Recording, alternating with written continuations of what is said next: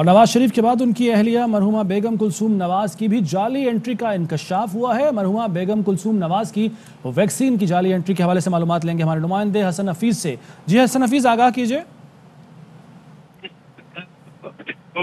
ज़िंदा है, उन जाली एंट्रियाँ हो रही थी और अब जो मरहुमीन है, उनकी भी जाली एंट्रियाँ सामने आ गई हैं और बेगम कलसूम नवाज़ जो तीन साल कबल जो है, वो इंतकाल उनका हो गया था।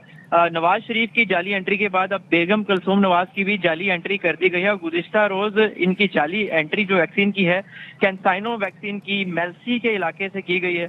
जिसके बाद जो इस बात की कंफर्मेशन दी है महकमा हेल्थ ने और उनका कहना है कि ये जाली एंट्री की गई है, जिसकी इंक्वायरी कमेटी बिठा दी है और दूसरी जो जाली एंट्री सामने आई है, वो इसहाक डार की है।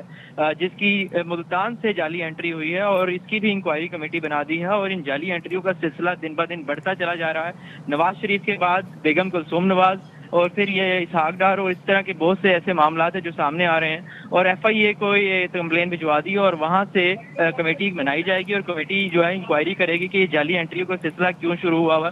हैरान कन बात यह है कि जो लोग इस दुनिया से चले गए हैं, उनकी भी जाली एंट्रियाँ की जा रही जी। ठीक है, हसन नफीस, बहुत शुक्रिया आपका।